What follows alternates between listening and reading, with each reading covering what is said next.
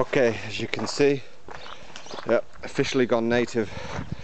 Uh, just putting some dusting on down on the the wall here that I've done the, what they call the swanage.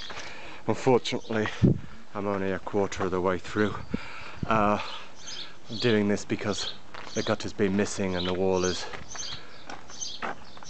had some severe problems with uh, water getting in and then expanding ice and then cracking the stone. So this is the one we have to do. The others we could do if we wanted to, but they're, they're in much better shape. So, uh, but for the horrible weather in April, May and June where it literally rained most days, I couldn't really do this gutter work. And then when I had the chance, I was finishing off the interiors that I'd started. And then like these guys were in the middle of all this retesting all the, the drains here and doing the road, so that stopped me from coming here too. So, so it is something I'll have to finish off at some other point later in the year. Eh? Beaucoup, beaucoup, oui? Beaucoup travail, non? Or no? Eh? Bonjour René, hein? bonjour.